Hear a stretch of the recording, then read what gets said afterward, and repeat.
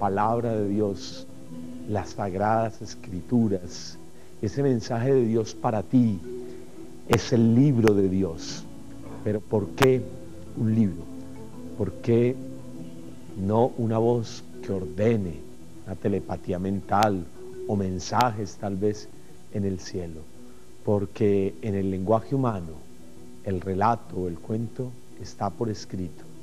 Es el medio más efectivo y preciso de comunicar.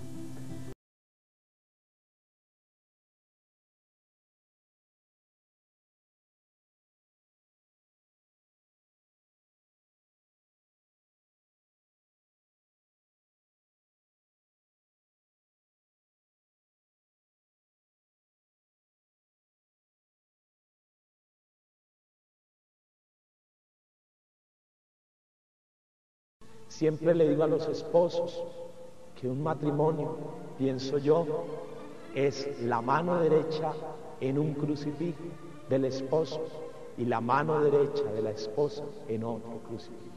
Unidos en una sola carne, en la carne de Jesucristo, del Cordero.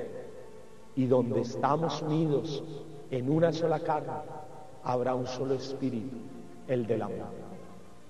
Yo le repito a una hermana, ¿cómo les fue en la misa? No los vi en la misa, estuvieron en misa. Porque a veces me dice, no pude ir el domingo, pero fui el lunes. Yo le digo a ella, recuerda que el domingo en que tú te olvides de que ese día es el día de Dios, ese día empiezas a perder tu hogar. Porque cuando tú te sueltas del amor de Dios, ahí tenemos ya nada que hacer.